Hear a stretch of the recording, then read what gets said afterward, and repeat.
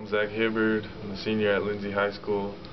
Play wide receiver outside. I was recruited by Southwestern Oklahoma State. During football season, I went and visited Ouachita Baptist in Arkansas, and me and Carson visited East Central together in Ada. It was about a couple of weeks ago. I committed that weekend. We went on a visit, and then uh, I signed February 2nd.